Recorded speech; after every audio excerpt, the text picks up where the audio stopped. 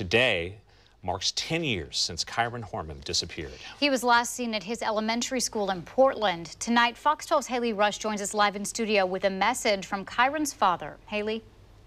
His dad remains hopeful his son will be found. He says that while statistics aren't on his side, he believes Kyron is alive because he's received no information that he isn't. We get all these tips and all these leads and do all these searches and we don't find anything, then it, to me it evens the odds that he is still out there. I mean, why wouldn't he be? A decade later, Kaine Horman is holding out hope that his son, Kyron, could come home. Let's assume he's out there. I believe he is. I believe we're still looking for him. It was June 4th, 2010, when Kyron's stepmother, Terri Moulton, says she took the then second grader to Skyline Elementary School and watched him go down the hallway to his classroom. He never got there.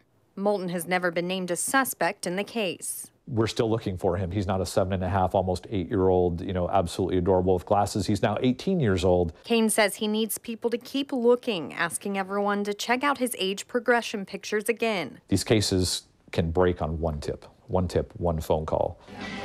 As for investigators, Kaine says they've never stopped searching, and for that, he's grateful. I don't know what else you could ask for short of bringing him home. Um, they're, they're doing everything that they can. Finally, 10 years later, he has a message for his son.